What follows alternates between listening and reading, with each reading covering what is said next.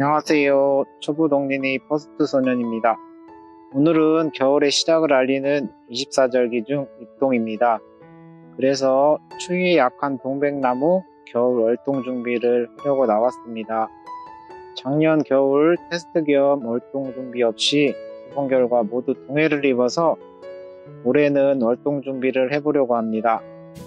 비교적 따뜻한 남부지방이 아닌 중부지방 서해안에서 동백나무 성장하기란 어려움이 많은 것 같아서 이번 첫 겨울 나기를 준비하게 되었습니다.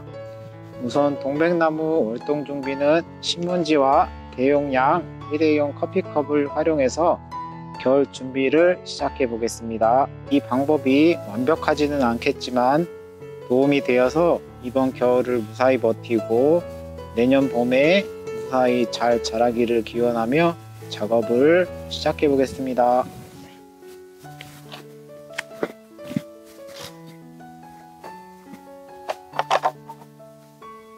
아직 겨울이 시작도 전인데 동백꽃이 벌써 피었네요. 자, 그럼 지금부터 동백나무 활동 준비를 해보겠습니다. 신문지 한 장을 가지고 반 접고 반 접고 반 접은 다음에 동백나무를 감싸 보겠습니다.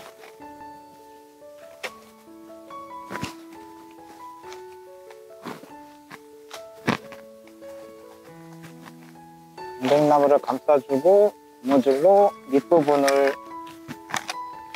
고정시켜 주시고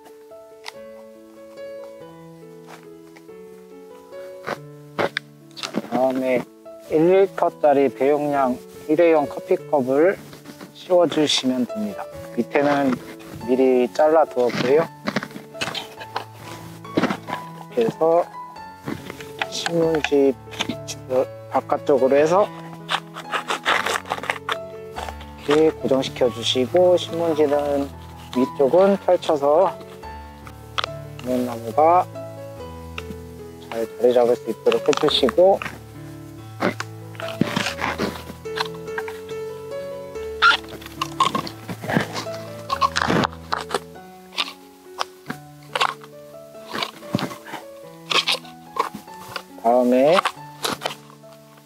흙으로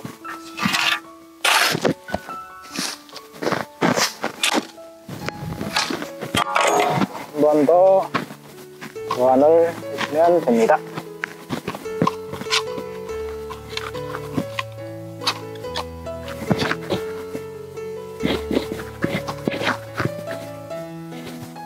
자, 이런 식으로 동백나무 월동 준비를 시작해 보겠습니다.